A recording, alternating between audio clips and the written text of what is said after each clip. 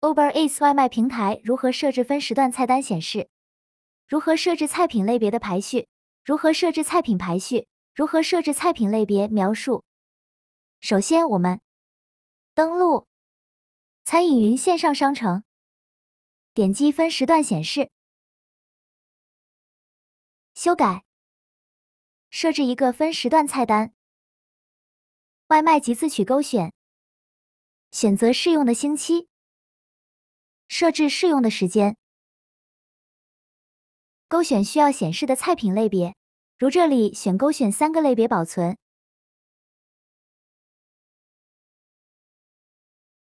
不想显示的菜单，设置禁用保存。分时段显示 Uber Eats，我们选择启用。点击排序分类排序，如我们把开胃小菜移动到前边，再点击菜品排序，对该类别的菜品进行拖动排序，如一开头的菜品移动，移动。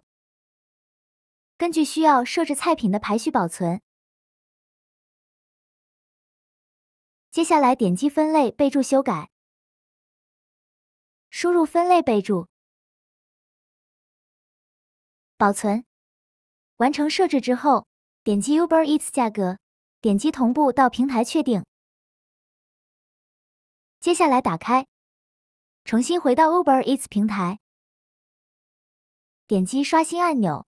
可以看到 Uber Eats 平台已经按分时段来显示对应的菜单，分类排序，分类描述，同时菜品的排序也已经按设置生效。